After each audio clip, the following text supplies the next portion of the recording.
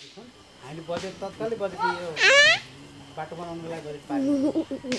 पैसा आउने भएपछि पैसा गरेपछि अनि वार्ड भेला गरेर कहाँ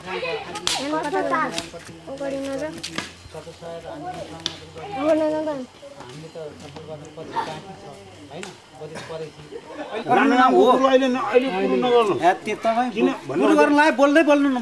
पहिला पहिला कुरोपट्टि लानुहुन्छ पर्खिनु न तपाईँ भन्नुहुन्छ। अहिले भन्नु होला नि। हामी पाँचजना। छजनाको कुरो छ। अब भोलिको कुरो चाहिँ के भने हालको लागि समस्या हामीले के भने अति नै आवश्यक चाहिँ जिल्लाबाट चाहिँ हामी बजेट जिल्लामा माग गर्नलाई त्यहाँको समिति दर्ता छैन। समिति दर्ता गर्दा स्तरीय बजेट पार्नलाई आन्दोलनको लागि हामी सक्दो सब सहयोग गरेर हामीले पार्नलाई हामीले यहाँ समिति त्यहाँको सक्रिय समितिको चाहिँ साधारणतया त्यो बसेर गर्दा भोलि पनि गाह्रो पऱ्यो चिज भन्ने कुराहरू हुन्छ। अनि त्यहाँ चाहिँ त्यसरी समिति सबै जम्मा गरेर समिति बनाउनु पाइयो भनेदेखि अनि डह्रो पनि हुन्छ र सबै हो? यस्तो दायित्व हो नि त। हिजो हामीले यसरी कुरा गरे हो नि त। अब यसरी जानु पऱ्यो। यस्तो भयो यहाँ। यस्तो कमजोरी भयो यो हाम्रो मात्रै होइन सबै कमजोरी हो यो। के गर्ने भनेर सरसल्लाह पनि माग्नु पाइन्छ अब हाम्रो यहाँ चाहिँ अलिकति मिलेको छैन।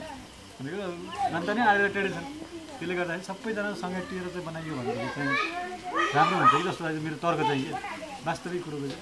नत्र भन्थ्यो अस्ति हामीले चाहिँ समिति मोटामोटी बनाइसकेका थियौँ। एघारजनाको समिति बनाइसकेको थियौँ होइन। अनि फेरि डाइरेक्ट म छलफल गरेँ एघारजनाको समिति त बनायो ठिकै छ। अन्त यस्तो यस्तो हुन्छ के गर्ने होइन त्यसो भए एकचोटि पत्र काट नि त। अब यो वर्षलाई त बजेट पार्ने भने त अब सम्भव भयो। सकेसम्म प्रयास त गर्ने हो। पर्ला अथवा नपर्ला त्यो आफ्नो ठाउँमा छ। आतुरी सधैँ आज परेको पर्सि पनि भनेर भने प्रचार गराउन यतिजना मान्छे अनि यसो प्रचार गराएपछि केही बिस पच्चिसजना त पक्का नि हुन्छ